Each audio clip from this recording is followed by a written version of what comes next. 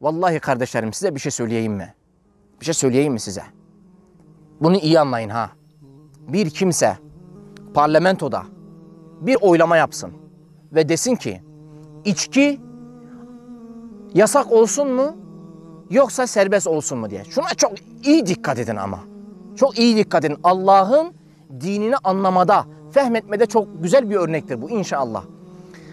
Diyelim ki bir parlamento var, bir meclis var ve mecliste bir oylama yapılıyor. Deniliyor ki meclisin başkanı, içki yasak olsun mu olmasın mı? Hatta daha da açık söyleyeyim, haram ve helal olsun mu? Helal olsun diyenler el kaldırdı. Haram olsun diyenler el kaldırdı. Kıymetli kardeşlerim size bir şey söyleyeyim mi? Haram olsun diye el kaldıranlar bile tağuttur biliyor musunuz? Neden? Ya hocam öyle şey mi olur? Adam haram olsun diye el kaldırdı. Ya Allah ona mı sordu ya?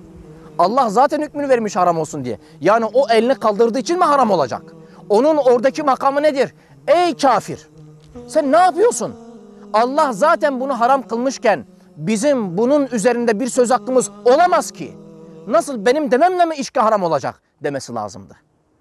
Şimdi siz buradan daha götürün. Onu helal kılanlar, onları serbest kılanlar, onlara haram diyenleri işte cezalandıranlar vesaire filan. Onların durumunu siz düşünün.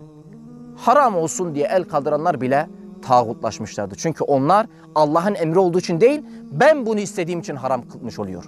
Yani teşri hakkına sahip olduğunu iddia etmiş oluyor. Rabbim bizleri tağut, tağutu hakkıyla inkar etmiş, onlardan iştinap etmiş olan kullarından kılsın.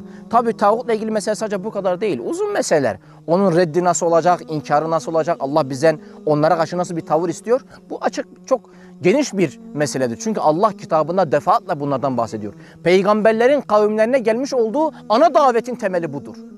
O yüzden kardeşlerim bu önemlidir. Onun peşinde giden, onu dost edinen, onun askeri olan, ona muhakeme olanlar Allah Azze kafir diyor ya. Allah Azze kafir diyor ya.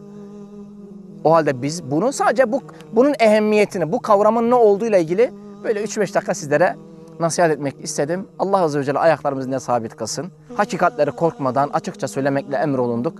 Artık dileyen iman eder, dileyen inkar eder. Bu Allah Azze ve Celle'nin kulları üzerindeki tasavvur, tasarrufudur. Vallahu galibun ala emri.